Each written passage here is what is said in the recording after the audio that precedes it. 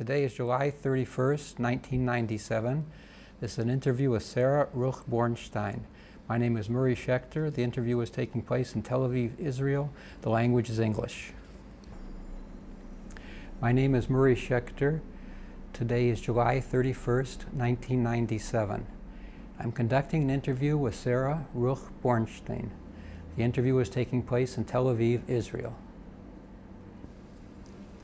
What is your name? My name is Sarah.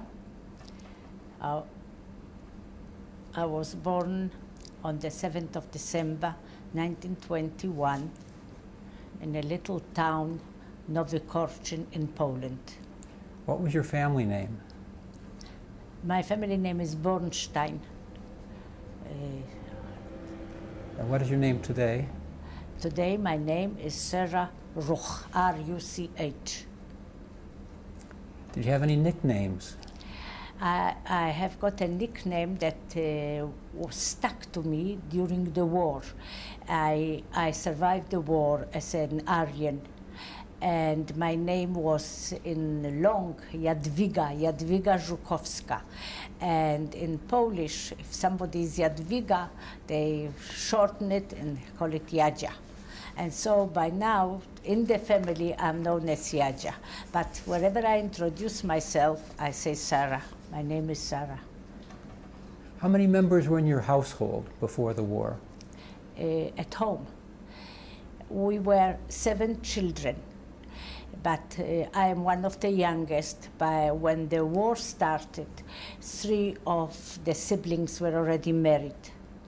My eldest sister, my brother, and my second, another sister of mine. They were married, and we were at home, four girls. What were your parents' names? My, my father was uh, in, they didn't use the Hebrew name, which is Tzvi, Hirsch. My mother was Chaya. Can you describe your house before the war? Uh, we had a pretty home. Uh, we had a flour mill in Tarnów, and the flour mill uh, actually was. We lived on the not far uh, on the same grounds as the flour mill. There was a very big garden, and in the garden was a like a villa with three apartments. The first apartment we lived, we had there. Should I mention the rooms, or it's not necessary? No, please. Oh, well, with the entrance, the entrance, there was a long corridor. Uh, there were uh, three, a, a lounge, two bedrooms, very big rooms. There was a bathroom next to the main bedroom. Uh, there was a, a maid's room, which uh, there was, of course, a kitchen, toilet separate, and there was a way to the cellar. Uh, and also on the way that's on the way to the roof was a little uh, apartment I would say a little flat that was em- empty all the time but during the war when uh, when the Jews, when the Germans occupied the western part of Poland, said that this is Germany, they immediately evacuated all the Jews. And we took in a family, a mother with two daughters that lived there on, in that apartment on the roof. Otherwise, it wasn't occupied. Was your family religious? Yes. Could you describe a religious ceremony in your house? A Seder, perhaps? a Seder. Well, I remember us. Um, uh, remember very clearly a Seder, still in the little town uh, where I was born in Nowy Korczyn. Uh, I don't think there were uh, any other members of the family because we by ourselves were a big family. I remember that my father sat next to him, the little children, and it, it, of course there was a lot of discussions. We girls didn't take part. We were busy eating nuts, and uh, finished very late at night. Afterwards, uh, I think my father was a sick man, and it was already much more subdued at a later stage. Did you have a big family? I didn't hear. Did you have a big family? My, my father, my father had three brothers. No, there were three brothers and one sister. The sister lived in Warsaw.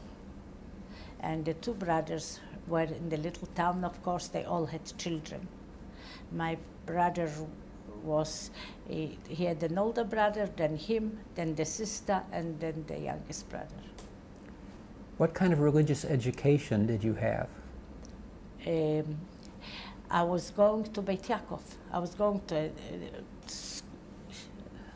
ordinary school to a public school in in, uh, in this Nowy Korczyn and to Beit Yaakov. And actually, my father brought to the town the Beit Yaakov. It was under his uh, initiation. How old were you when you moved to Tarnów? I must have been 11 years old when we moved to Tarnów. Can you describe your neighborhood there? In Tarnów, it was, well, uh, actually I was just now in Tarnów, uh, a nice street, of course, very close to the factory, to the flour mill, and uh, they were mostly Jewish neighbors, mostly Jewish. Also, in the flour mill were a lot of Gentiles working. Also, uh, also there were some houses in the back of the flour mill where people lived, that, that worked in the in the flour mill. Yeah, tell us about your friends. My friends, none of them survived. Actually, two survived. They are here. I was going with them to school. One passed away a few few months ago. She turned very, very religious, extremely religious. She married a rabbi. And the second one went completely out of religion. I think she, right now she's in Australia. Her husband passed away. and She moved to Australia. But I wasn't friendly with them here. After so many years, you lose contact. What did you do for fun when you in Tarnów? In Tarnów for fun. I don't know. In a religious home, we were very protected we didn't go doing sport or I remember I had friends in the, from school that went uh, skating. I didn't go because I wasn't allowed. It wasn't. It was. It wasn't uh, from such homes. We didn't go. I don't. Went to the organization in the afternoon, met friends, and so on. What were your teachers like in your school? In, in, in which school? In in Tarnów, talking about Tarnów. Yes. In Tarnów, most of the teachers, they were Jewish and non-Jewish teachers. Uh, very nice. We didn't find any. It was a Jewish school, and of course. There was no anti-Sem anti-Semitism at the school. Besides, Tarnów was a socialist town, and um, it wasn't anti-Semitic. I didn't experience anti-Semitism in Tarnów. First of all, we lived, we were isolated. We were going to a Jewish school. I was going to a Jewish school, and all the, my friends were Jewish, going to the same organization and so on. Like, you know, like Beit Yaakov in the afternoon, there were also outings, tiulim.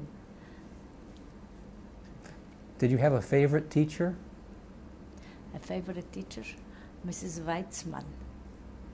I remember her very well. And actually, one of our, our Beit Yaakov teachers, uh, she lives, she is in Israel. Both of them survived. Um, there were two of them.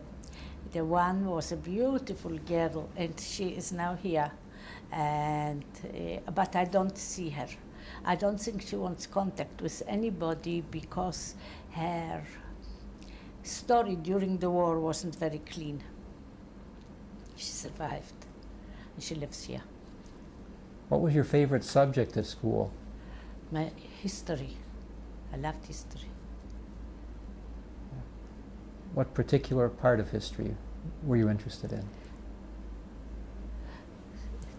Any history didn't matter as long as, perhaps the history of the last two centuries did uh, interest me more than anything else. I also was very good in maths.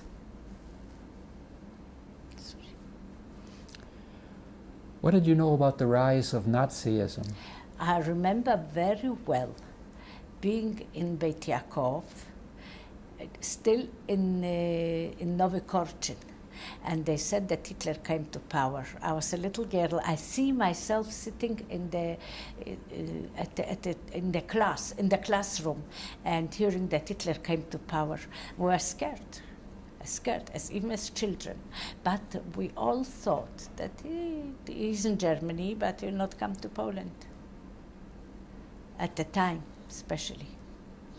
That What was 1933 I'm talking about. What did your family think about the rise of Nazism? I think they think, thought the same because we had the means to get away. And we didn't. We didn't go away. We stayed there. Did they ever consider leaving? No, I remember during the beginning of the war, there was talking that we can get a visa and get out. And I remember my late sister-in-law saying, "What? I've got such beautiful home, beautiful furniture. Everything will go. How can I?" That I remember. We didn't leave. When did your life begin to change? When my life began to change, when we left Tarnów for Warsaw. Because in the beginning, in Tarnów, there were small restrictions, not much. It started off, of course, when we left uh, Tarnów for Warsaw. Why did you leave Tarnów? We left Tarnów. Uh, we left Tarnów. The first, the first. Uh, no, what do you call it? Why did I forget right now? Akcja in Tarnów was in June 41. The first akcja. During that akcja, we could go to the to the Gestapo. Actually, they were they had an office. I don't remember exactly where and they gave a stamp. Car was you can live, and if you didn't get a stamp car on your identity card, you were taken. The, fo- the following day was an accident, you were taken. A couple of days before, I got a stamp car. Not only I got a stamp car, I also got a stamp for my mother. That was in uh, June 41. My two little sisters didn't, they were too young to, to get a stamp, so they were hidden during the first akcja, the, fir- the first few days, in the, not in the flour mill, but the workers hid them in a shed behind the flour mill. And uh, they came into the house, they saw I had a car, my mom had a car, and they left us. Oh, whoever had a car, they left. That was the first akcja was in June. Then the second akcja was between Rosh Hashanah and Yom Kippur. But in the meantime, they, we moved already to the ghetto. They moved us to the ghetto. When did the Germans come to Tarnów? Uh, the Germans came the first week. The first week, actually, we weren't in Tarnów when they came in. The first week of war, the, the, the Tarnów and also that little Nowy Korczyn is not far from the border. Next to Tarnów was a very big ammunition factory. And everybody said that this ammunition factory will be immediately bombarded. So we all went to that little town where I was, where we were born. And we were by our granny. The men left for the west, for the east, to uh, because they they knew that there Russia will come in. That was it was spoken about it, and we women remained in Nowy Korczyn until the Germans came in.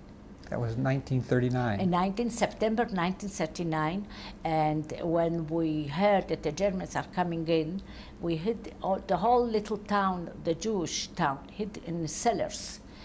And when they came in, they chased us out, and the Jews stood and clapped hands. And they didn't burn. Usually, all the little towns around they burned. Our town, they left everybody alive because the Jews were standing on. They put uh, uh, the whole the whole Jewish community on one side of the marketplace. You know, it was like a square marketplace. Jews were clapping.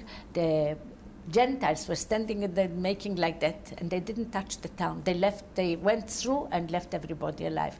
And then the, our my brother and my brother-in-law left for uh, Lvov, and we women a couple of days later went back to Tarnów.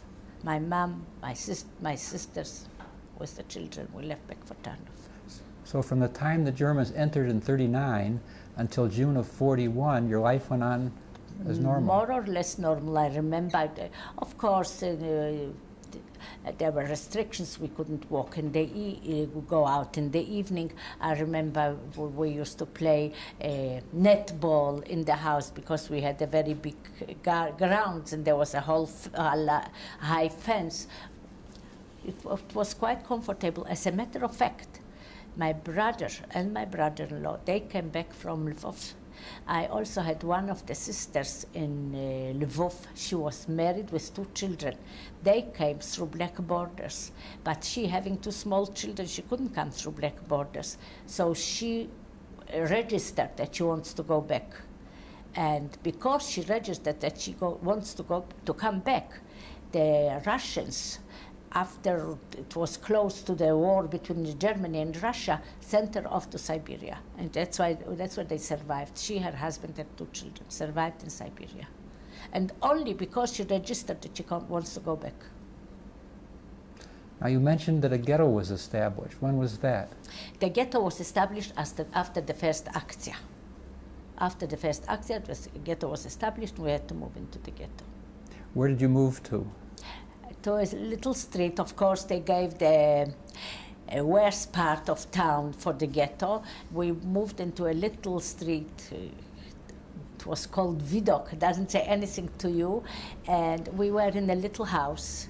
We, there was, I don't remember how many rooms were there, but we were on one side, on the other side lived my brother. It was a little house, like a hut. Like in a shtetl, you see the houses. Now, how many people were you? We were then my mother, my myself and three sisters, and also by us, the, we had uh, my mother had a brother that was uh, a shochet, uh, what do you call it in English? I don't remember. And he was a prominent man in his town, and they were looking for him. So he stayed with us. Then she had two nephews that from from Lodz. That Lodz was also the, the, the Germans made it their town. That, so they were with us. Whoever came was with us and a cousin of mine from Warsaw was with us, but she left. She left before she left to the little town because her mother was there from Warsaw. Was there a wall or fence around the ghetto? Uh, yes, but it wasn't yet closed. When we left, it wasn't yet locked. It, of course, there was a wall around the ghetto. Who was guarding it? Germans. Only Germans. No Polish guards? I don't think so. I don't think so. Perhaps I don't even remember. How many rooms did you have in this house? In that house, I think two rooms and the kitchen, perhaps another room, I don't remember.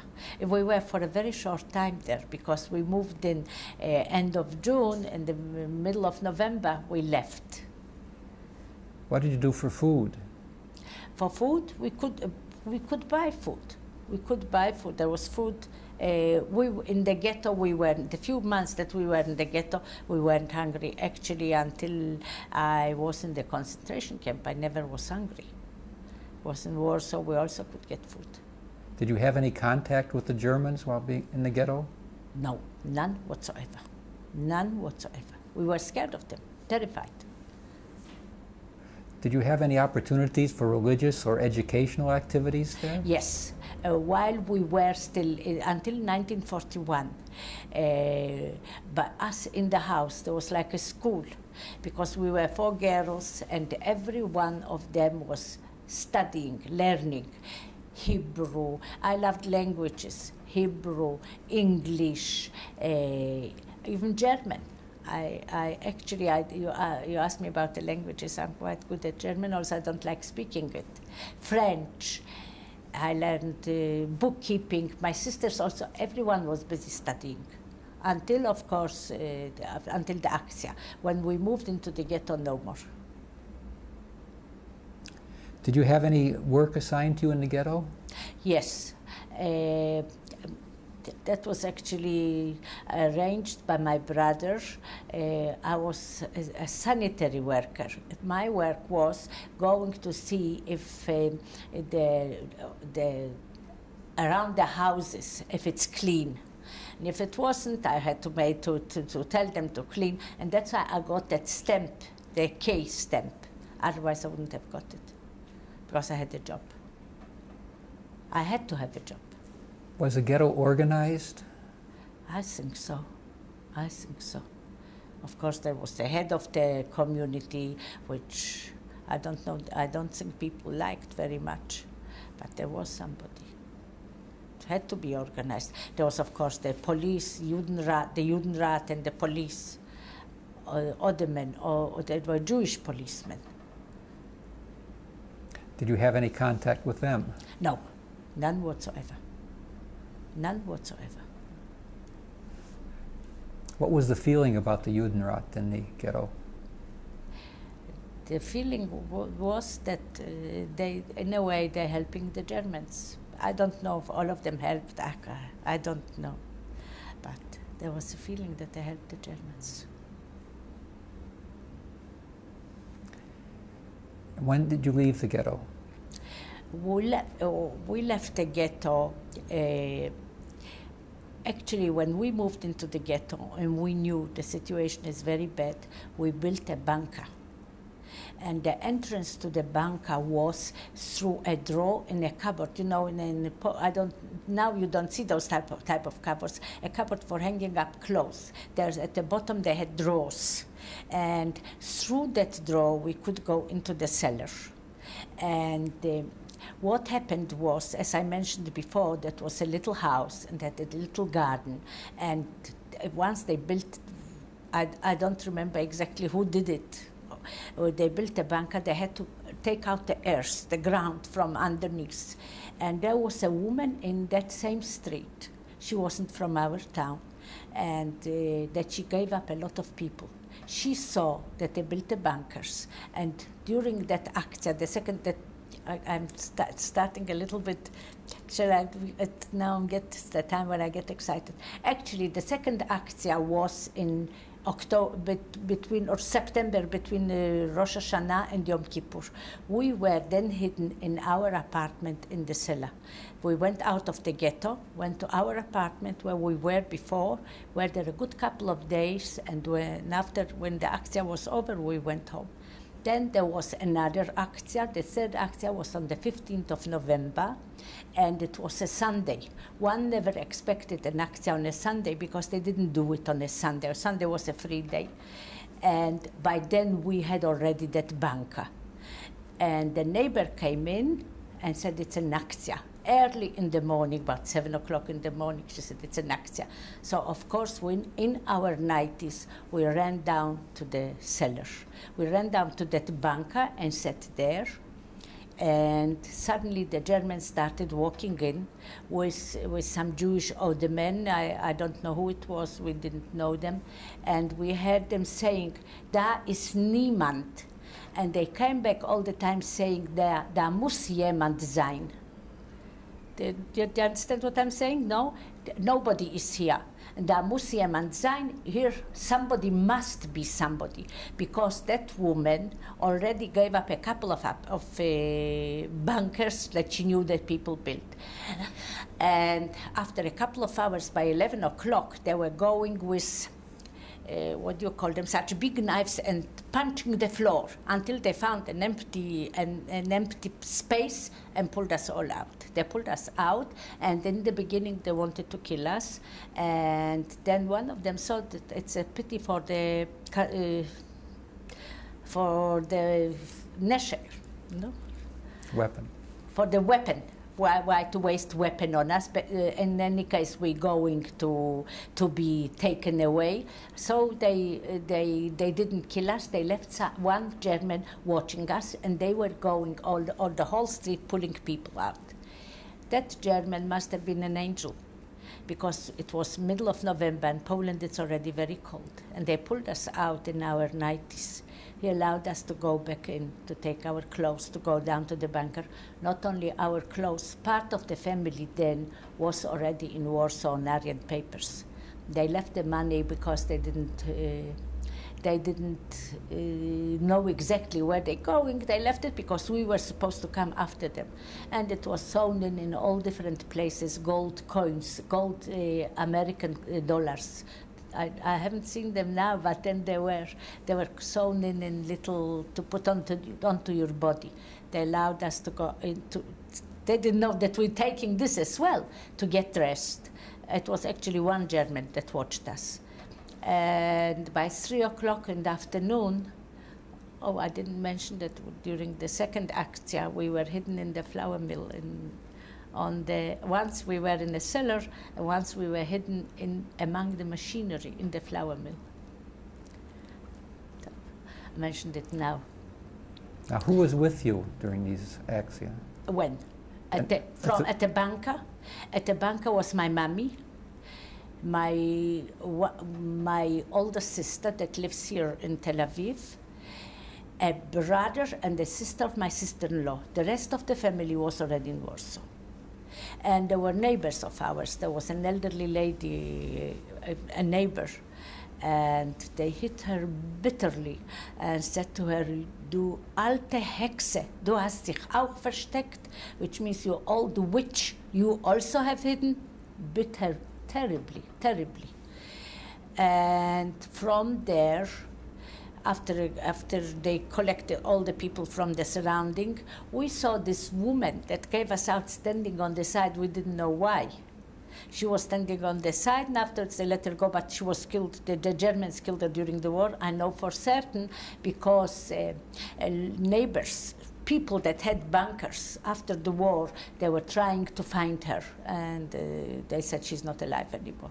The Germans, whoever they need use, they need during when they need it, they use them. Afterwards, they did away with these people, and. I, I was talking, uh, they, after a couple of hours, they took us to a square.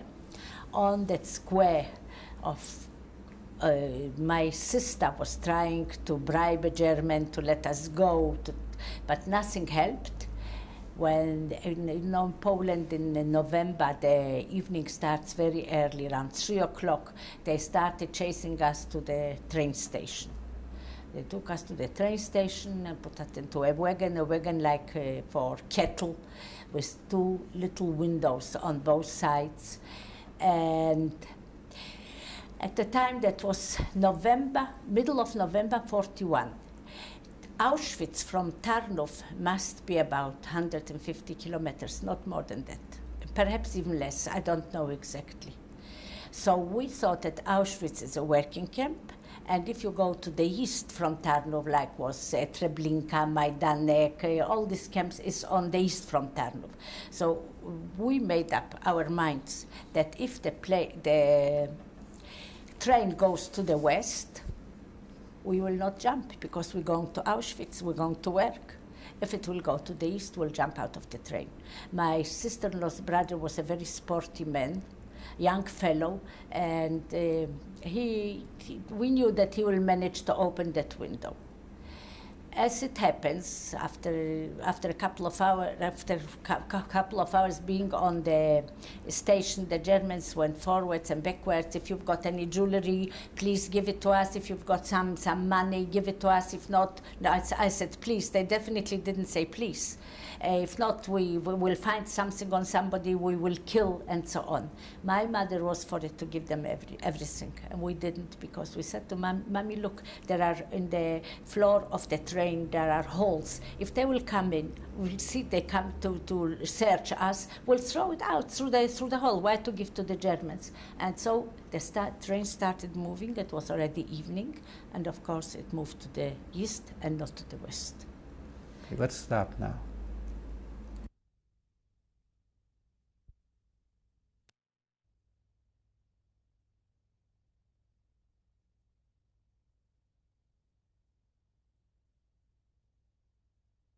The axiom.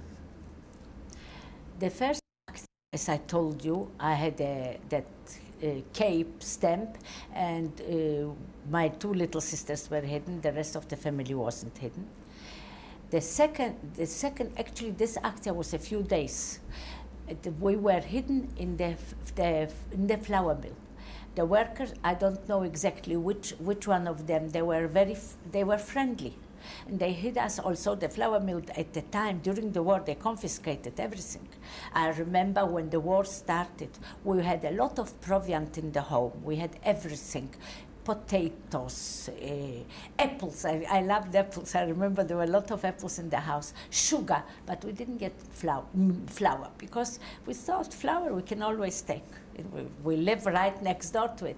And sure enough, the, the day they walked in, they confiscated the flour mill, and we, mm, nobody from, uh, from the Jews was anymore there. But the uh, Gentile workers were still there. And during one of the actions, they hid us on the second floor in the flour mill among the machinery. Next to the, that uh, flour mill, a little bit further, was a square. And it, uh, it was called Kapłanówka. And on that square, they killed thousands of people. And of course, they put them into the and, and on, they threw them onto the Jewish cemetery uh, in a communal grave. Uh, my eldest sister, us children, they didn't allow us to go to look to the window, but my eldest sister went to the window and she saw what is happening there, and she pulled off the skin from her face. Mama scratched it all off, scratching herself, scratched off the skin from her face. That was the second. And the third one was on the uh, 15th of November. Now, there, there, was also one that we were hidden also in the cellar of our house. The cellar of our house. Uh, that, that was already, uh, when it was when we were hidden about in the machinery. That was still when we were at home before the ghetto. The first day they looked on the stamps, the second day they took everybody already, and then we were hidden. Then uh, there was the second act, I mentioned it before, during Rosh Hashanah Yom Kippur, and we were hidden in this, our cellar of the, we went out of the ghetto, and the, the a pole hid us there. The third akcja that I started talking about it was in November when they pulled us all out. And we, I mentioned it that we were on the, on the train already and evening came and instead of going to the west that we thought it will go to the west to auschwitz which at the time sounded wonderful it went to the east. We started organizing ourselves between ourselves that we're going to jump. First of all not only we were going to our certain death but we had the means for them to survive in poland in warsaw. They, the money was left with us. And there was two little uh, barbed wire windows on top uh, of the train, of the wagon. And we tried to stand very near to such a window. And as soon as the tra train started leaving, definitely one couldn't jump when the train was, uh, was not in motion because there were Germans all around. Actually, I think that they were sitting on the outside of every wagon. They found themselves a place, but and if somebody will jump. But at that time, people knew already that if you go to the east, it's a death camp. Lot, quite some, a lot of people jumped from the train, young people mostly. When it came to jumping, uh, my older sister jumped the first she jumped the first, and then uh, this, uh, my sister-in-law's brother was clever. He wanted me to jump the second to leave uh, mommy, that I leave mommy. And I said, I'm not going until mommy will jump. So his sister jumped. His sister jumped, and I started working on my mother uh, uh, I said to her, look, they will all survive, and I will die because of you, because you don't want to jump. One, it was lucky that her brother wasn't in the same wagon. I don't know why they didn't put him in the same wagon, because I would have never got her to jump. But he wasn't in the same wagon, and I spoke to her all the time. I said to her, look, I will, I'll be killed because of you. Came friends over, said to me, and her hearing it. What do you want from your mother? You want to jump, jump to your death. What do you want from your mother? Why do you want her to jump? She's an elderly lady. Altogether, my mommy was 51 years old at the time, but then it was already an elderly lady. And I was talking to her all the time. I said, look, uh, they all will survive, and I will die because of you, because of you. And she, I don't know how long I was talking to her, but I managed to convince her. She said to me in Yiddish, was tut nicht a Mame for a Kind, which means what doesn't do a mother for a child. She let herself be thrown out. And I begged her, Mommy, you wait for me. I'm jumping immediately after you. And she jumped out, and from other wagons also people jumped. And she was started, started calling me, eh, Sorale, Sorale. And uh, that were other people. She was a little bit mixed up. She also, also there was already snow on the road. She hurt herself a bit and she was bleeding. People saw her, they looked back. They looked back and said to her, uh, you know what, clean yourself off from the blood.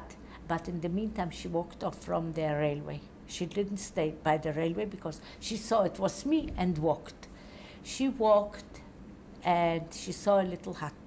She went into that little hut. She told them she's Jewish. First of all, my mom's uh, Polish wasn't very good, the language. She told them she's Jewish, and she had them saying, uh, This Jewish woman has got a nice coat on her.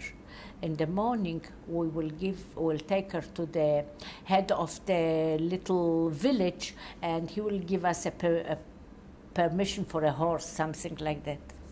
Uh, but they set her down there, and she was sitting there and of course not, not doing, uh, sitting there. I jumped out immediately after her, and that boy was a very sporty boy. He jumped out immediately after me. Before I managed to move, he was there, we started going and looking for my mommy. Going backwards and forwards near the, rail, the rails. Mommy, mommy, in Yiddish, mamishi, mamishi. I don't know for how long. We were there going for a very long time. I actually don't know for how long. I can't say how long it was. And then he says to me, You know what? We didn't eat and didn't drink the whole day. I am terribly thirsty. There's a little light there. I promise you, I want something to drink. If we get out, uh, we'll have something to do.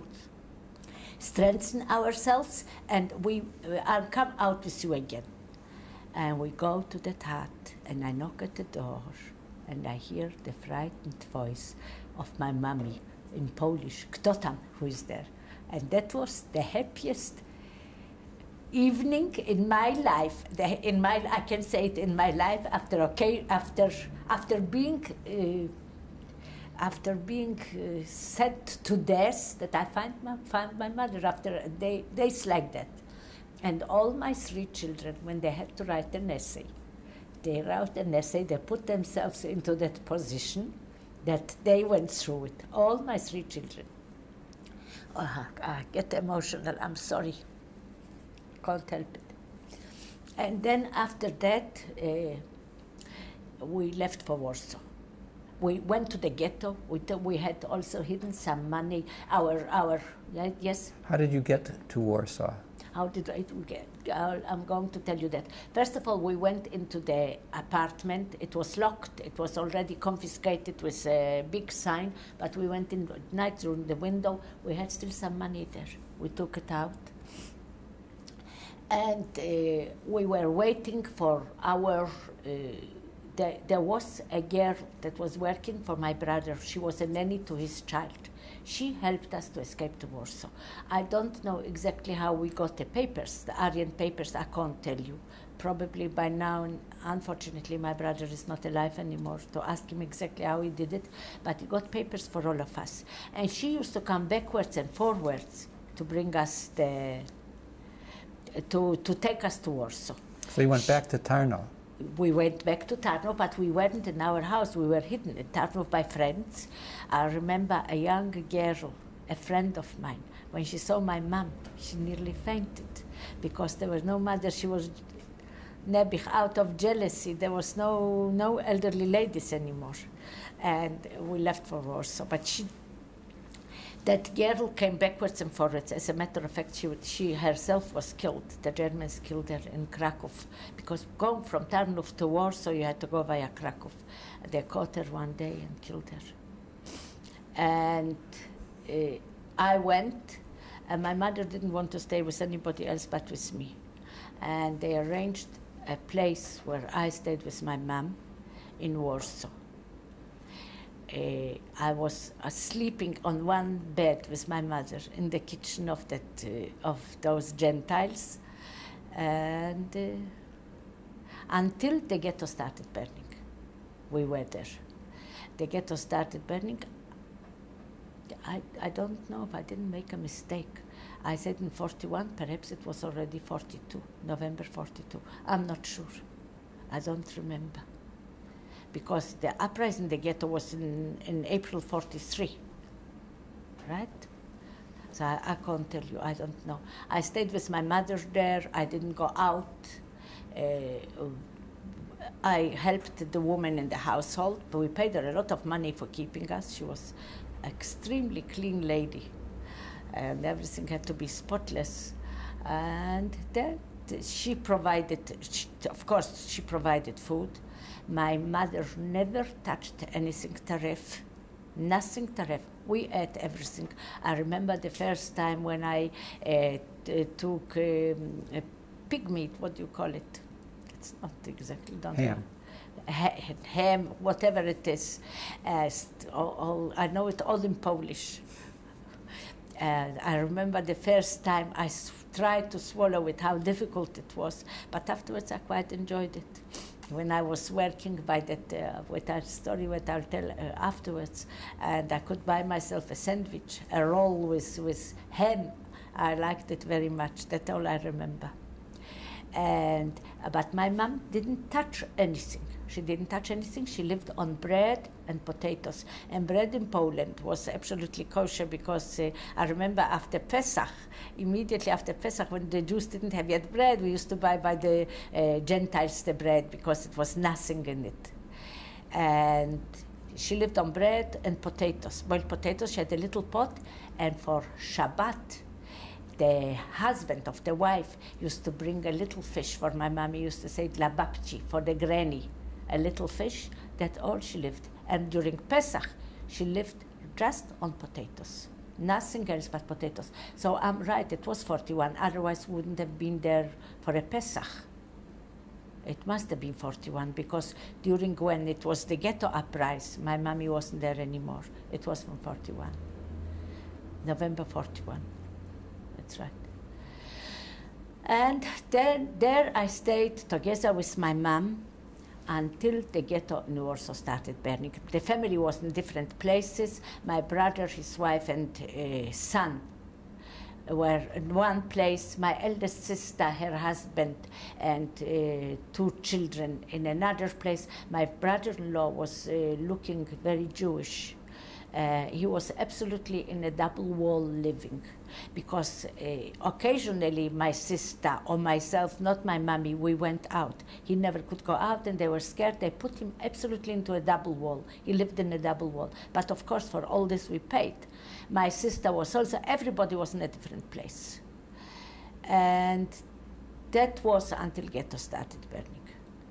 When ghetto started burning, the Poles were, I was with my mommy was with me, got a fright, and said they, they scared because they used to kill the Poles. If they found a Jew by Poles, they used to kill the Poles together with the Jews, and not only to kill them together, but also throw them onto the Jewish cemetery. And that they definitely didn't want.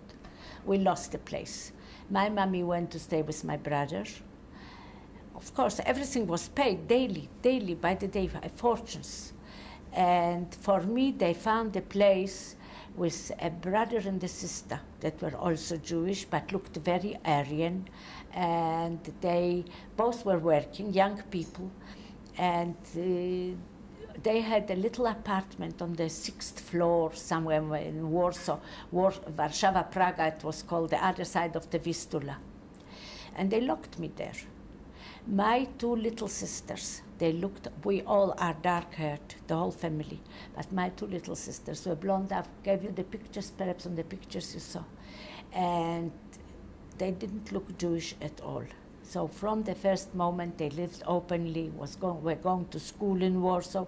They had arranged papers, proper papers. They were going to school and uh, being open completely. They were living in a part of Warsaw that was uh, not a new, one of the new suburbs. It was called Mokotów. Not far from there was a prison, and opposite was a, a German uh, German koszary, kaserne, no, what do you call it, where the, the army lives. But Bar army barracks, army barracks opposite, you see, I told you I forget my language. Army barracks, and they stayed there with a woman. They said that they're from a different town, they go to school in Warsaw, and everything was fine. They noticed that there they're looking for a young girl to be a nanny for their son. And they told me about it. My family was dead against it, that I should go, but I couldn't take it being locked up in the house. And actually, I went against, perhaps even against the wish, but afterwards they agreed to it. They agreed to it, and I went to, to for an interview to these people, and they took me on. They took me on, and I stayed, I, in the meantime, I also went to the Gestapo in Warsaw and got myself a proper identity card because my first identity card was false. When we left Warsaw, when we left Tarnów, we bought uh, identity cards. I don't know where and how, I don't know. But this identity card was, was a real one. I took it out by the, in the Gestapo in Warsaw. I, I also had a proper birth certificate. But the birth certificate was of a girl that she was born, but she died. And they took out the, uh, there is a death certificate for the kartoteka where the death, where they registered the, the, the people that die, that she, she didn't exist anymore. But in Poland, what was uh, important, I don't know if here it is like that, I don't think so. You've got to give your last address. Where do you stay? And of course, the last address, she, she was on the, on the cemetery. She had no last address. And the last address was bought. It was false. And it was on a certain street in Warsaw, Śliwna. That doesn't say anything to you. And I went with that documents to these people to work. Of course, I did not tell them I'm Jewish. I told them that uh, uh, my, my family comes from, the, the, my uh, birth certificate was from a town that the German, Germans uh, joined it to Germany. I don't know, not, don't say joint, I don't, don't find the right expression right now. So they couldn't go and check it there. I'm from there, and I'm a young girl. I didn't want to live, live under German occupation. And I came to live in Warsaw, and I'm ready to do the job. They took me on. They took me on, and I had a room next door to them. And I had them, that was, in, that was the Warsaw ghetto was still burning at the time. I heard them talking between themselves, and he was nagging her. He was working for the, uh, in a very high position in the treasury in Warsaw and I heard him nagging her, go and have a look who, who she is, who this Jadzia is, where she comes from, where she lived. And I heard her answering him, oh, she's got such an innocent face. What do you want from her? I'm not going. And he said to her, these innocent ones are the worst. She will sell the, the buggy of the baby and throw the, throw the child into the Vistula and disappear one day. Of, of course, I didn't do it. And one day he had off. It was uh, they have got a holiday after what our Shavuot. I forgot what you call it in Pentecost, I think. And he went to that place. He himself went there to find out. They usually they, there was a big register book. Usually they didn't they didn't show the book to anybody, but because he was working in the treasury, they gave him the book and I didn't appear there. There I wasn't written. So he says, what, she's not written here? Says, started describing what I looked like. They said, they don't know me. They don't know me. He came home. She wasn't home. And he says, calls me into his room. He sat down by his desk and says to me, look, I have been on this in the street, and you know, I looked for you, and I didn't see you. I didn't, I didn't find you. You're not registered. Now asked also the neighbors. Nobody knows you there. Tell me, who are you? And I was working there already for a good couple of weeks because we lost the place immediately after when it started after Pesach. This was already Pentecost. It's uh, I think six seven weeks. I knew that there were a better class of people, not. And I said to him, "You want to know?" He says, "Yes. Tell me." I said, "I'm Jewish." When I said this, I thought that if uh, something hit him, he became absolutely started screaming, What? I sit here next to the phone. I can phone the Gestapo immediately. You tell me you're Jewish? So I saw that the impression was very strong. I said to him, calm down. I'll tell you this whole story. Until the war broke out, I didn't know I was Jewish. My parents never, never allowed me bring, bring, to bring Jewish uh, friends home. And also, I was going to a public school, but I never met any of them because my, my parents didn't allow me bringing them home. And uh, my, uh, now, when Hitler came, I found out that my father was Jewish. My father is, my mother is not Jewish. They killed my father. My father died in 1937. So I could easily have said that they killed my father. And I don't know where my mother is. She's hiding. Here I am. And you can do with me whatever you want. He said to me, First of all, I want to wait until she will come home, and then we will discuss it. When she came home, and I said, I have got, I have got no family. I'm an only daughter, but I've got a very good friend because we, I wouldn't have taken on a, a place where there is no phone because like that I had contact with the family. They could phone me, and I said, There's, I've got a very close friend, Halina. She will phone me. She's the only one that will phone me, and that's it. When she came home, she felt very sorry for me because she said she's got an only sister which she's she doesn't talk to her not on speaking terms and i have got nobody. She felt very sorry for me and uh, of course i remained there. And because of me they took in a jewish family uh, into the house. There was a servant girl there doing all the hard work. They sent the servant girl away. Now I had to do everything there. And uh, they, they kept a Jewish family that bring, brought them in a big income. Actually, I think that those people were really converts from, from Lodz.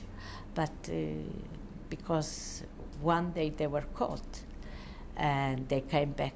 When I saw that they were caught, I became hysterical I, I, they didn't tell me that they are Jewish, but uh, I, I didn't know until they were caught. When they were caught, they had a daughter more or less my age, Vanda, and uh, they were caught, and it, they, somebody blackmailed them, told about them, also for money. They came back. When they came back, and I saw that girl, this Vanda, I, hap- I took her around. and I said, Vanda, I'm so happy you are back. And I said to her, You know, I'm also Jewish. She said to me, I'm not Jewish.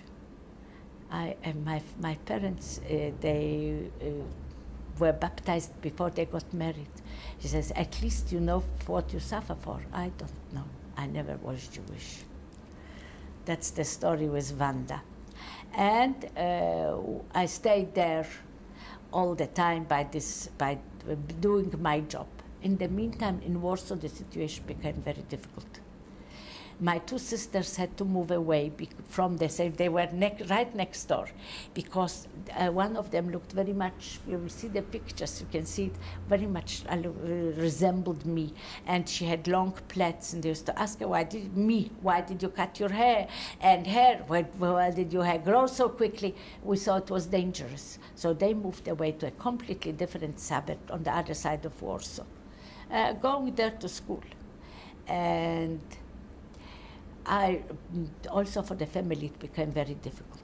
They, they, they, the Poles were scared, and the man, I don't know if the money was running short.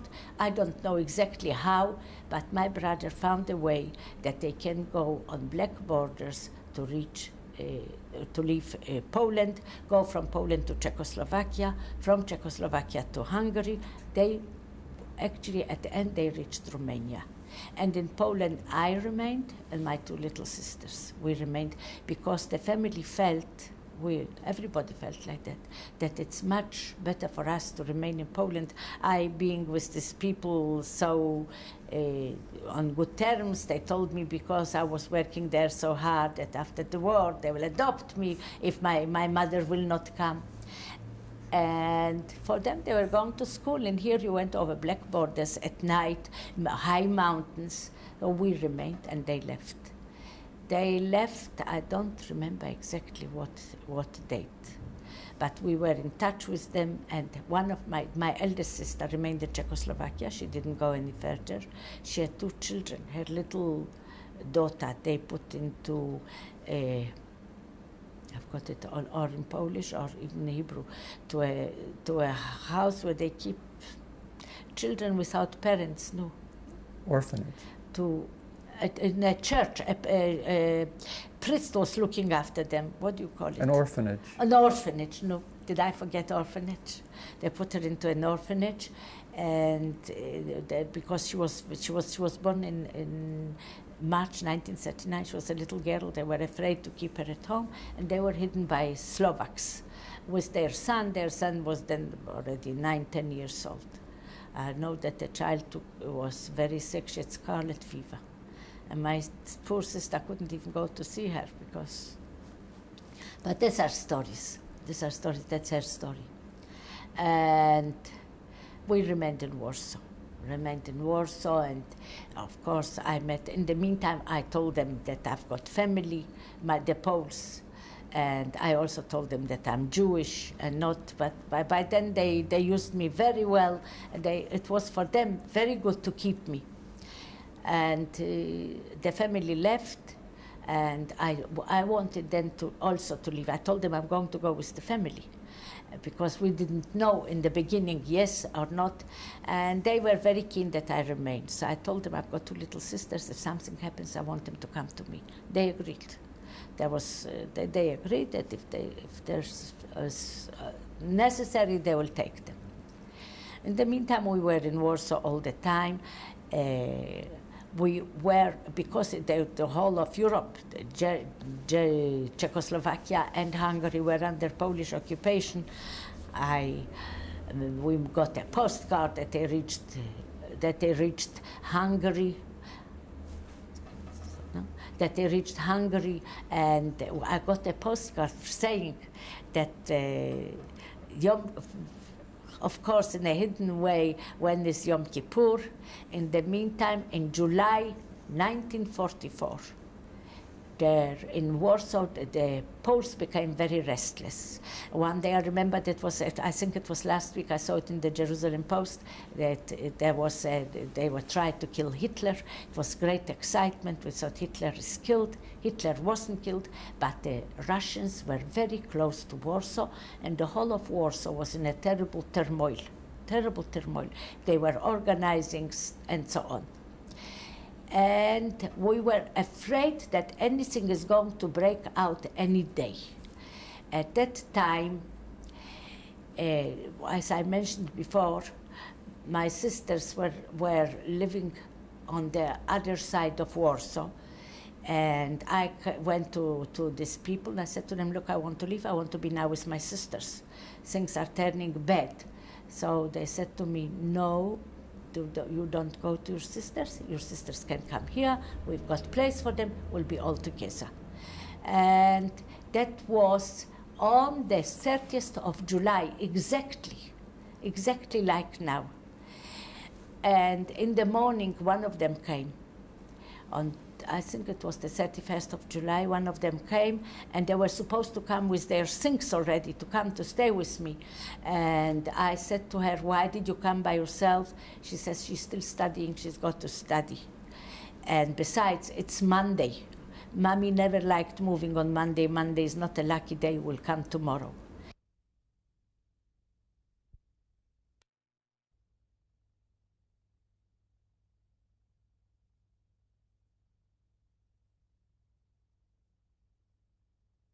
Sisters came to you. Yes, she came by herself. And I asked her, why did you come by yourself? She says to me, well, she still, her, her uh, Aryan name, the, the big one was Irenka, the little one was Helenka. She is still studying. And uh, besides, mommy never allowed us to, never liked moving on a Monday because Monday, uh, Jewish, I don't know why, is considered not, uh, not a lucky day. Tuesday, they'll come on Tuesday. On Tuesday, five o'clock in the afternoon, broke out. It was the first of August. The broke out the uprising of the Poles against the Germans. Poles were, I don't know, they must be still now very patriotic. They loved Warsaw, and their Warsaw they wanted to free by themselves. And they, they actually thought that they will uh, have a good occasion to free Warsaw by themselves because the Russians were already standing on the other side of the Vistula. When I mentioned before that I was uh, hidden, that they, I was hidden by the Jews, by the Jewish brothers and sisters, it was in Warsaw, Prague, that was on the other side of the Vistula. The Russians were standing there, but the Russians wanted the Poles to get killed, so they let them get killed. So they, there was an uprising, and uh, behind it was the English, uh, the Polish government in England. There was another government under a man by the name of Sikorski. And uh, of course, they, those were the fighters. They were against, dead against communism, and they wanted to free their own Warsaw. The fights were terrible.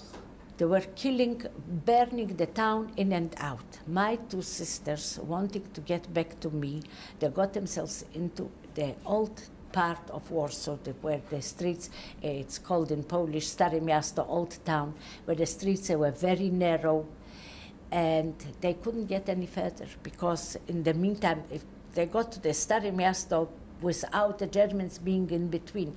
But when they wanted to get closer to me, which was the other side of Warsaw, they couldn't get closer. So instead of sitting there still, they joined the Polish army.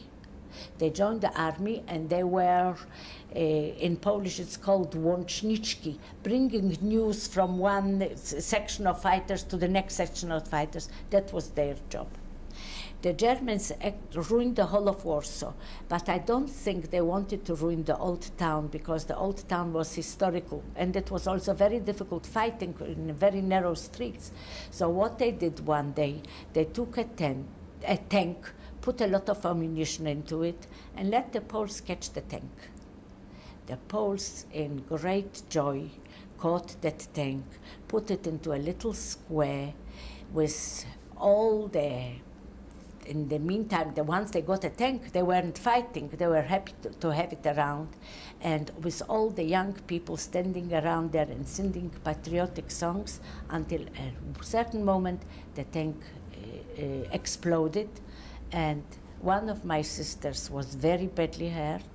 And they took her into, they built their uh, hospital, a field hospital, and of course, the Germans bombarded the field hospital. The hospital fell in, and she was killed under the under the ruins of the building. After the war, we managed to get out the ashes. We identified her uh, little uh, chain that she had on her uh, neck. The second one was hurt, and she was evacuated, and we never know what happened to her. We don't know where she fell or whatever. After the war, when I came back I was trying to trace her all over. In the meantime, I was living in that other part of Warsaw that I mentioned before. That part of Warsaw, I also mentioned, had a prison right next in the same street and opposite the German barracks. So uh, from the, uh, the uh, people that were watching the prison, the watchers were supposed to open the prisoners, to let the prisoners out, to fight against the barracks. But it did not succeed. Something happened there. The prison wasn't open, and the, the, uh, they never got the barracks. And the Germans remained there all the time. The Polish patriots never reached that place. The Poles on, and the Germans, of course, were scared of the Poles. So they took out from the area all the young people and uh, to build barricades against the Polish fighters. One day, I don't remember exactly, it was already the beginning of September, I was taken out and uh, we were building barricades. We saw uh, the, the fighting was going on on both sides. They sent us out. They didn't want to be there. Before we built the barricades, they didn't fight them. And after, after a couple of hours, they took all together all those that built the barricades, young people, and took us to a concentration camp. They sent us off first to Grossrosen, from Grossrosen, but in Grossrosen they took off only the men. Then they sent us off to Ravensbrück, and we were for a couple of weeks in Ravensbrück. We didn't do anything in Ravensbrück. Ravensbrück is in the northeast of Poland, of uh, Germany. I might no, no, it doesn't belong now to Poland. Northeast of Germany, and we were uh, for a couple of weeks there. I remember being freezing cold. What else I remember? That one day they made us like walk all of us naked to see if we haven't got any anything on our bodies, any how should I say, any sicknesses, any what else I forgot to mention is before they took us to the camp. Actually, it was already in the camp. I had little earrings. Since then, I never wear earrings. Little golden earrings that I got from my sister. And First of all, I didn't have where to hide them. Perhaps I could have. I didn't want to take them off. The sister was in Russia. I didn't know if I ever will see her again. They, in the most brutal way, they pulled off the earrings. They didn't try to open them, just pulled the ear and pulled them off. Brutal, brutal. And then, uh, after a couple of weeks, they sent us off from Ravensbrück to a working camp. We were 650 women, all Polish women to uh, Hennigsdorf. Uh, it was a, a, little camp that belonged to Oranienburg, Sachsenhausen. And there, that this Hennigsdorf is outside of Berlin. I don't know exactly how far from Berlin it is, but not far. And we were working there in uh, ammunition. I, I, don't know exactly what, what factory it was, but we nails, all types of little screws, things like that. Uh, that was from October until April. But we felt all the time that freedom is close, that it's finishing. I remember New Year, we were all, all went out while screaming, freedom, freedom, wolności, in Polish, of course. What? And in April 45, things became very stiff. So one day they started chasing us chasing us to the west. They were the Germans were terrified of the of the Russians. They weren't so scared of the of the Americans or English or French. They were terrified of the Russians. They were starting chasing us west. We, of course, we heard all the time the fights going on. We, and one day they took us to a farm, and this farm was beetroot uh, growing. They were growing a lot of beetroot. Of course, we were hungry, and the farmers gave us some beetroot to eat. And I remember that a German started screaming at one of the watchers that was watching over us. What do you give them the beetroot? You need it for the for the for the fee. You give it to people, to them to eat, to the prisoners to eat. And I underst understood the German. I heard him saying to them, "Do you know what is happening? Do you know how long we will still be the masters?" I was on the front. I know what is happening. And uh, during the night, I don't remember if it was on that farm, on another farm, uh, the Germans disappeared. They disappeared. We were five girls that we walked off. During the night, we walked off and started walking towards Berlin. As a matter of fact, I think not only one, two of them were Jewish. No, we didn't know. We didn't say to each other that we are Jewish. Uh, we walked off, and I was in Berlin on the 9th of May at the station waiting for a train. There were, uh, of course, we were in, uni- in uniforms that everybody could see that we are prisoners of war or something, uh, or slave workers. And uh, if a train came, we walked into the train just freely. And I heard the war, we heard the war is over. I remember very well how I felt that moment. It was horrible. Somehow I felt my fight is over. What is next? I was in a terrible, a, terrible predicament. What am I doing? Where am I going? Who have I got? Who haven't I got? I didn't know if my family survived. I didn't know. I didn't know anything. But uh, I decided to go to Warsaw. Could we go back a bit uh, to the camps? Could you describe the Yes. camp that you were in? Uh, the camps in Ravensbrück first. We were sleeping on beds. There were three, and uh, there was the food that we got there. It was it, was horrible. I remember the bitter bread and some some hot water, which was supposed to be soup. Uh, but we got once a week a couple, three, three tablespoons of sugar or something like that. I remember that I sold, sold the sugar for bread because I never liked sugar, I never liked sweet things. To this day, I don't touch sugar. And uh, I supplemented, supplemented my, my, my food with bread. Uh, it- it- three uh, very big ba- uh, ba- rooms, sheds, with three three bunk, uh, ba- whatever you call it, it's not a bed, uh, one on top of the other. Did you have any contact? Got up early in the morning, going to eat, wooden clogs, and on our feet, freezing cold. I've got to this day still on my toes uh, that I suffer from it. Did you have any contact with the Jewish prisoners? No, none whatsoever. None whatsoever. After the war, I, when we were going home, I was going with I- one I met here. And after the war, I, I was going with one lady. She was a bit older than me. And uh, she said to me, You know what? If you haven't got anybody, uh, no, no, she said to me, We meet the following day in Warsaw at a certain place because I wanted to go to Warsaw to find out. Perhaps I'll find out by my by the people that I was if somebody survived or not. And she said to me, we arranged the following day when we reached Warsaw that we're going to meet at a certain street in a certain place. I didn't want to tell her where I was before. Somehow we were still scared to say that we are that we are Jewish. And I didn't go to that meeting place. I found out afterwards that she didn't go to that meeting place as well. In the meantime, uh, uh, when I came to Warsaw, to, my, to the Poles that I stayed with, it appeared that my sister from Romania came to know Eastern Europe was freed much before the war ended, came to look for us. She didn't find anybody, but she left an address.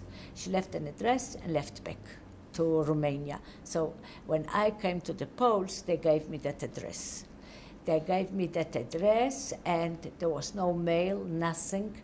What I did, I contacted, I contacted them uh, through the Red Cross, and um, I, don't know why. I was scared to say I'm Jewish. I don't know why. Perhaps living for so many years after uh, being non-Jews, I sent a message to Halina Czerwinska, to my sister, that Jadwiga Żukowska is alive, and somebody heard it and told it to my brother. And then I went to there to the, of course, there was great excitement in the family, especially my mother. They were sure I will not be alive because I was a type that didn't let myself easily be caught. They thought that the two little ones had bigger chances than me. In the meantime, they didn't survive, uh, and I was there. Uh, I went to the Jewish, uh, there was a Jewish community in Warsaw. I went there, but I spoke a perfect Yiddish before the war. But most probably they were from Russia. Uh, they were all communists and they spoke, they spoke such a Lithuanian uh, Jewish. I didn't understand them.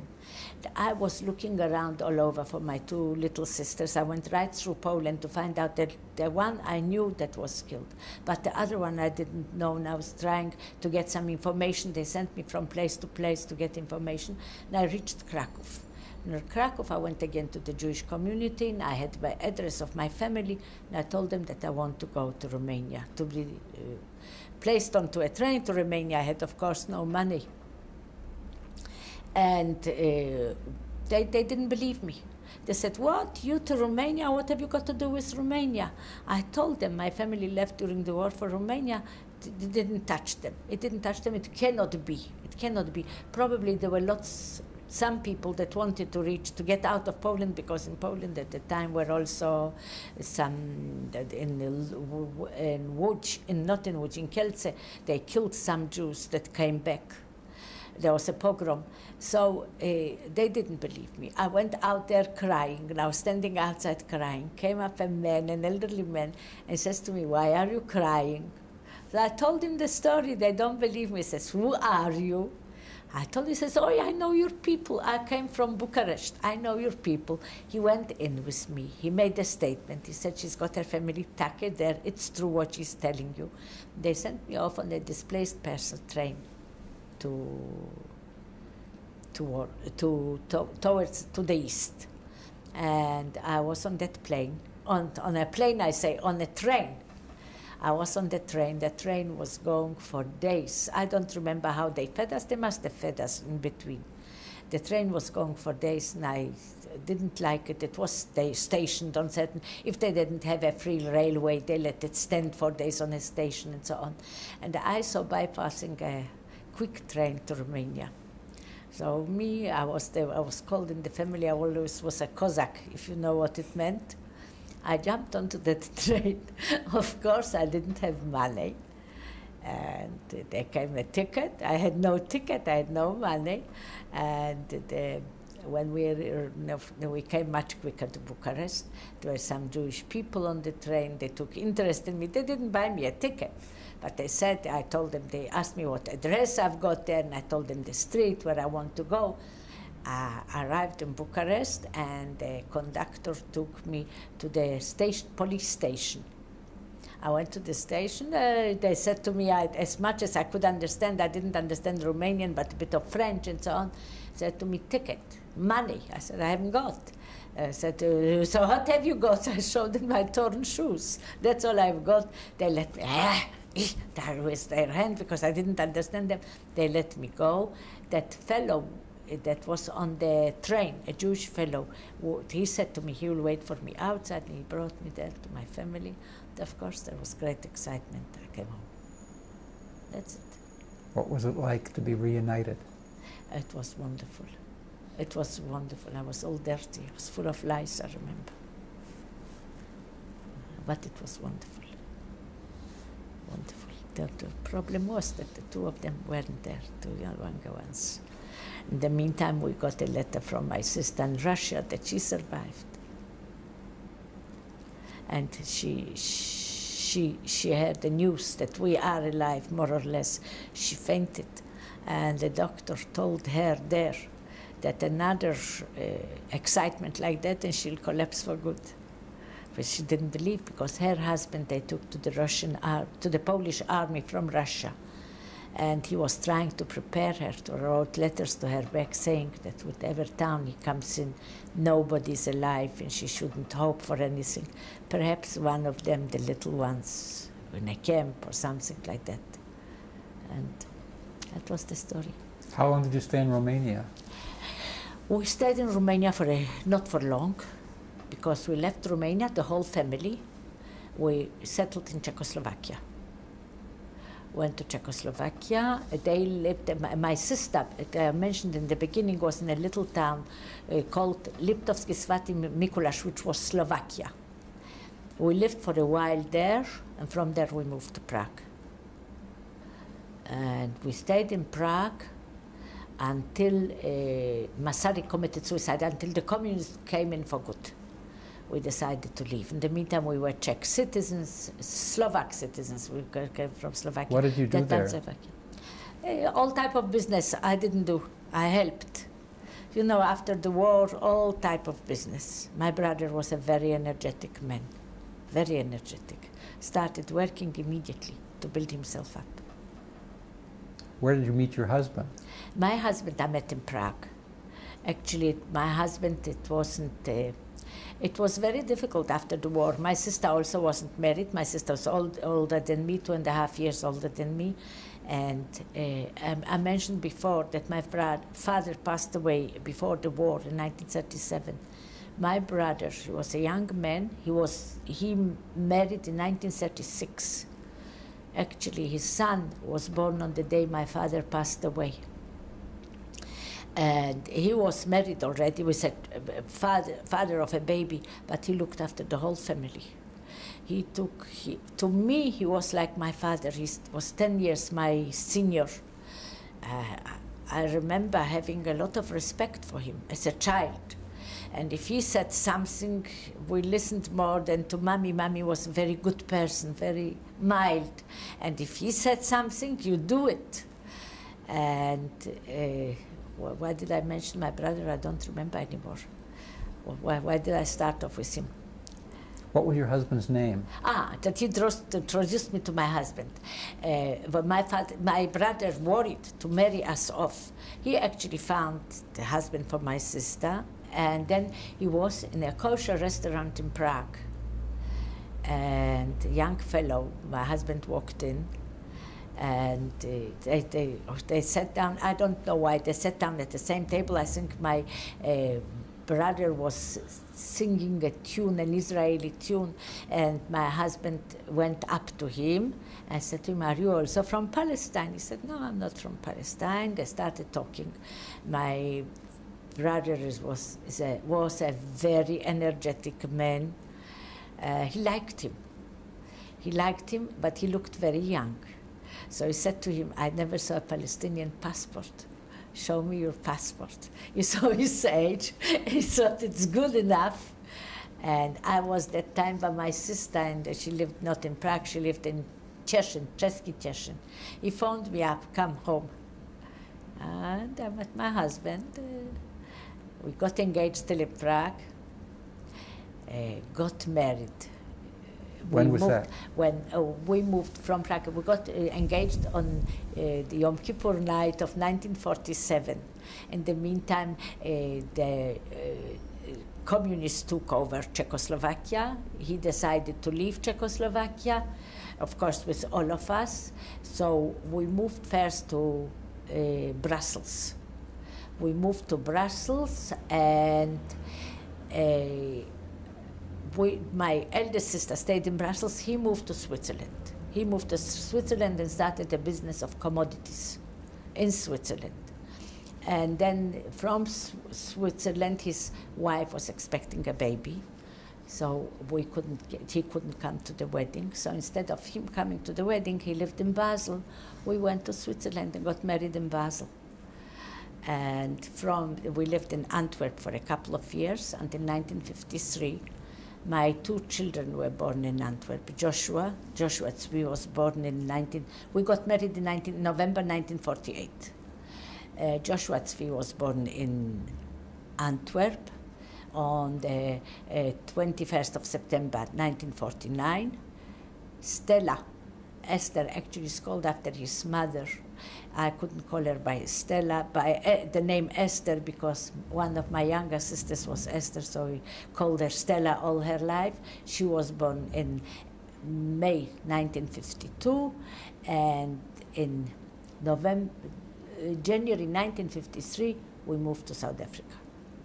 My husband didn't like the life in Antwerp, and he didn't want to come back here. He said to me, you know, you don't want any wars anymore. You went so much through let's go to South Africa. There never will be a war there, it's so far away. He had family there, not close family, cousins. His whole family was perished in, in, in Vilna. His family, actually, my husband had a certificate. He, went, he left uh, Vilna during the war with a certificate to Palestine. They went, he went by train from Moscow to Odessa, from Odessa to uh, to Turkey, from to Turkey, from Turkey to Israel. From, from of course, from Odessa to Turkey by boat, the, the Black Sea, and there uh, to, to, he came to Palestine. And his whole family perished in Vilna. When did you return to Israel? When we returned to Israel, we lived in South Africa. We had a very good life in South Africa, very comfortable. But my family was here. And I was, I remember uh, being in Warsaw, and uh, the Poles were very patriotic.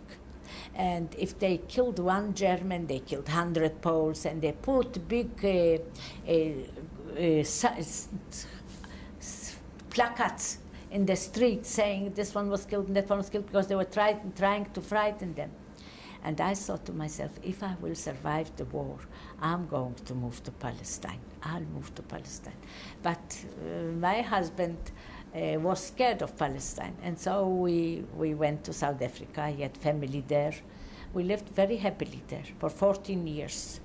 And I was trying all the time to to convince him to come here. Also, my brother was working on it. My husband came first, was here for about a year on his own, working with my brother, and then we all came. But I was trying, I was wanted to tell you how uh, that about when I parted from my friend from the concentration camp. I never knew that she was uh, Jewish. She didn't, but her husband was uh, a Lubavitcher Hasid. My brother-in-law that married my older sister is also a Lubavitcher Hasid, and he knew him most probably from the yeshiva from the before. I don't know exactly. This uh, man we met before many a time, and uh, he was telling me that his wife survived in the camp, and one of he had two girls before the war, and one of the children survived, the other one didn't survive listen to a story. There were so many stories at the time. And one day, my husband was arriving, my, my not what wasn't my fiance was arriving from somewhere, and I was at a station in Prague. And I hear somebody next to me saying in Polish, is it Yaja or not Yaja? Yaja or not Yaja? I look around, it was the wife of this guy. He met his wife after the war. They, they, were married before the war. She didn't come to that, to that place where we arranged to meet because she found out that one of her children, they were all hidden, little girls were hidden somewhere, that one of the girls was killed. I didn't come because I found out that my two sisters didn't survive. I didn't want to go. And we met like that. And here I was again, that, that was one Jewish girl in the same camp, and I was here sitting by a tailor when we arrived in South Africa. In, in Israel, that was already, we were in 1967, I brought at the time in Israel, it was difficult to get materials. I brought some pieces of uh, material and I went, and somebody gave me an address of a tailor. I was sitting by a tailor uh, with my daughter, with Stella, and I hear two women chatting in Polish. Now it's not so popular, but at that time, in 1967, lots of Poles spoke still Polish. They spoke the language. And one of them says to me, You're very familiar to me. And I say, You know what? You must know my sister because we look a lot alike, and uh, because I'm not a long time in this country. Then she asks me, Where do you come from? I said, Tarnów. She never was in Tarnów. Then she asked me, where, where do you live now? Which suburb? Well, also not. And so she doesn't know me. And suddenly I got up to, to fit. And she says, Yaja, we were together in concentration camp, both as Polish girls. That was already 22 years later. She recognized me. And when she said Yaja, and I said, who are you? Are you Tusha? Then I recognized her, but the first moment I didn't. 22 years being dressed in a camp and being dressed now. Okay, let's stop here. Yeah.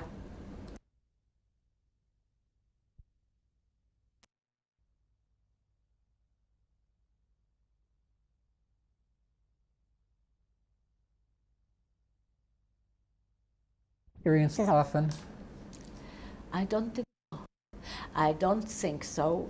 First of all, we were lucky to survive. So we didn't survive, all of us, but we were very lucky in any case. What I do remember, and I always repeat it, when we were here for a, year or two, perhaps more, in Israel, I had a nightmare. And I didn't. My nightmare wasn't about uh, about uh, the camps or the warriors. It was about South Africa. I dreamt that a black man is trying to get into through the window, and I, I, I, I you know, it's very difficult to, to call during the sleep. But suddenly I felt my husband waking me up. What's wrong? What's wrong? What's wrong? I was trying to scream that the black man is coming into the house. Uh, probably I was more, not more scared. I was older then. I dreamt about South Africa, being scared in South Africa. Why did you want to tell your story? Why I wanted, actually, to tell you the truth, I didn't want so much. My children, my youngest daughter, is very much interested in the in in what happened, and she she was. Uh, urging me, Mommy, tell the story, tell the story. And as a matter of fact, I found the, the institute about uh, one and a half years ago. And I've never heard. She was coming back backwards and forwards, or go to the Yad Vashem in Yerushalayim. I didn't push. She pushed me. Perhaps my husband as well. And in a way, she was right. The children should know. Actually, my uh, my sons, uh, my one of my grandchildren writes beautifully and he wrote the whole story in English, Sarah Ruch's story. Not, not the whole story, the experience when I jumped from the train with my mother. This he wrote. How many grandchildren do you have? I've got Bli Ein Ra, 13 grandchildren. The eldest will be 20 now. The youngest, the, uh, 20 on Rosh Hashanah, the eldest, the youngest in two weeks' time a year. Is there any message you have for your children, grandchildren? Uh, any message that you'd like to give your children or grandchildren? They're lovely, and I love them all. I love them all, and it's wonderful. When I am with the grandchildren, I try to think what, what I went through. I think that's great. It's wonderful. Is there anything you else you'd like to add? Something we didn't ask? Something you didn't ask. Or perhaps I would like to ask to add about my husband's family. Uh, my husband comes uh, from a different family to to me. I don't I don't know if not the war if I would have ever met him.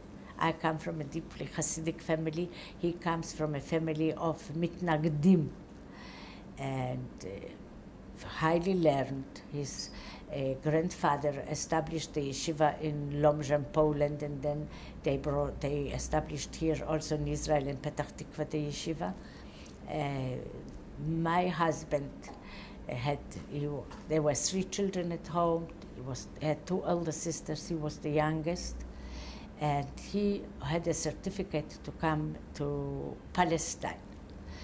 And actually, was one of the last certificates uh, given in, in Warsaw. He, he the war broke out. He was in Warsaw when the war broke out because he went for his certificate. Uh, from the, the, I think that the whole family had certificates, but unfortunately it was not that easy to leave. To leave, uh, they were under Russian occupation. He left for Vilna, and from Vilna he left uh, for Palestine in 19, 1941. Uh, they, they, his whole family they moved to Vilna as well because they thought that from there they will be able to reach Palestine. One of his sisters got married there, and she she had a baby. They all perished, all of them. His father was the Rosh Yeshiva of the yeshiva, very very prominent family in, in the east, northeast of Poland. He's the only survivor. Thank you. This is the picture of my parents, uh, my brother, and uh, one sister younger than me, Estera. The picture was taken on holiday in Stravnica. We, I haven't got any pictures from home because uh, we ran away from Tarnów and we lived as uh, Gentiles. We couldn't have such pictures. But my mom had one sister living in Toronto, and probably she sent her the picture after it was taken. When she had one, she sent her a picture, and that's how uh, from Toronto it was sent after the war to us. We asked them, we told them we've got no pictures whatsoever of the family and my father passed away still before the family, before the war. This is the picture that, of course, we also got from Toronto, from my aunt. This is the picture of my brother's wedding. My brother got married in 1936, and uh, I don't know why it's only half of the family. Probably at the time they couldn't take such big pictures. I've got no idea. Uh, but this is the picture with most of the members of the family are on my mother's side.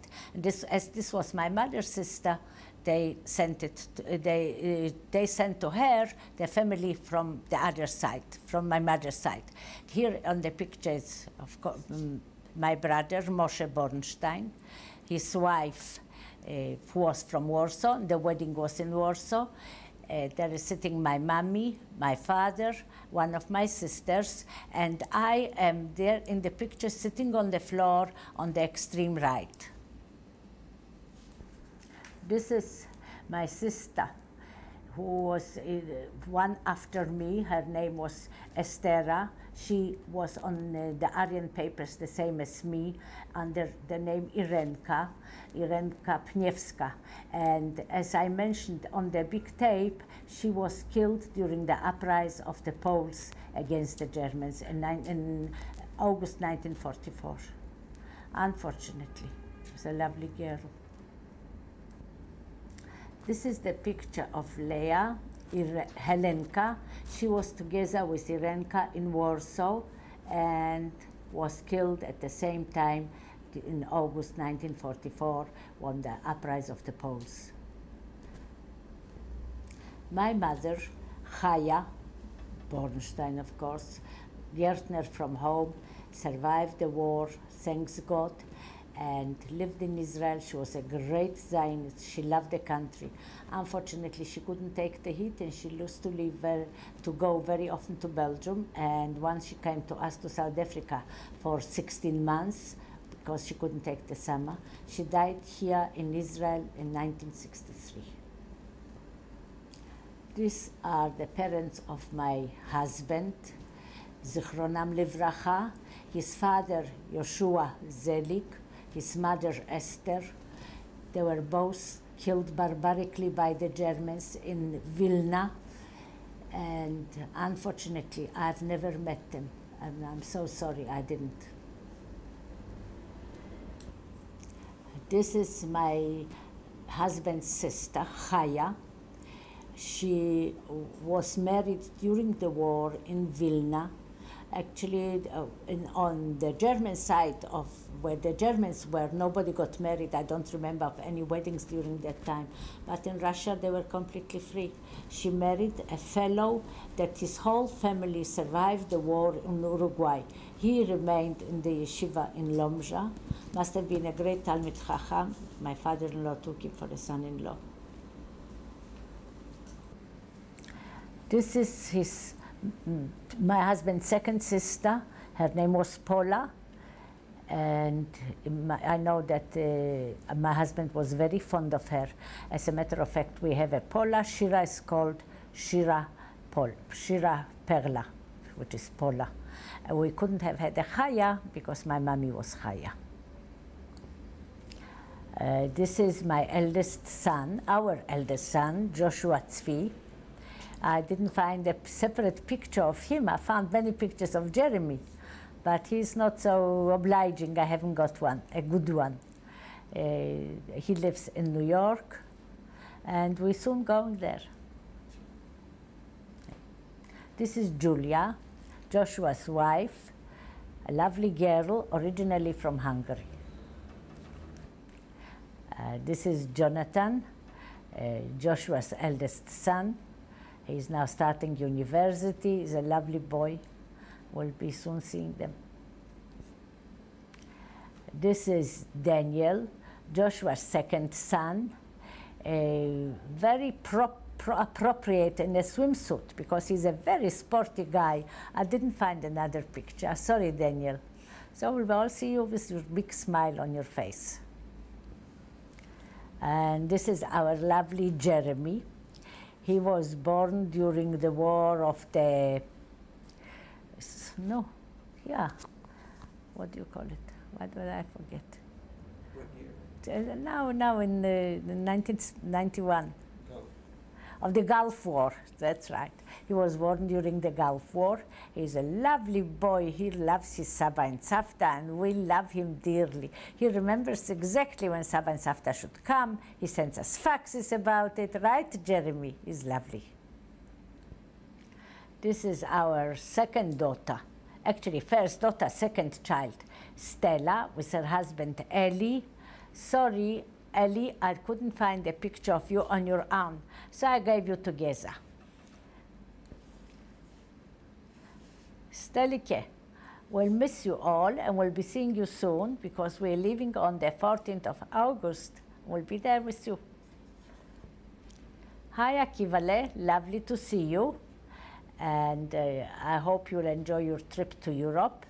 Akiva was born in London and he will turn 20 this Rosh Hashanah. Uh, this is Tamara. She turned 17 a few weeks ago. She's our first girl in the family. Uh, hi, Leah. You lovely. We've got a very white smile. She is Stella's third child, the second daughter. Hi, Karen. As you can see, I chose a picture with crackers because I know that you love crackers, so he will be next to you in the, in the tapes. This is Mimi and Tzvika.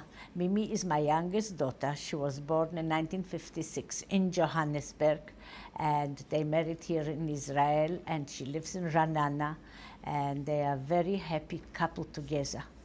And because of Mimi, I made this tape because Mimi was insisting most, most, she was pushing me to do it. These are the three big girls of Mimi's. Moria, who turned just now 16, Hadas, who will be 15 in Sukkot, and Shira will be 12 next week. I didn't find a separate picture of Shira, and that's why I gave the three of you together. You'll have to forgive me. This is Aviad. Aviad Yoshua. He is a lovely fellow. He's the only one born in the States. Uh, Mimi and Zvika were then on Shlichut in Chicago, and he was born there. He's 10 years old. This is Asaf. He is lovely especially his uh, Saba goes mad about him. We actually all are. He's a lovely boy, two and a half years old. And this is Avia. She will turn in the middle of August one year. Uh, she's a lovely baby, very understanding, and she loves her Safta. Right, Aviola? Well, here we are both of us. The picture was taken in Prague in 1947. I think the date should be in the back. Then my fiance, Meir Ruch, and Sarah Bornstein.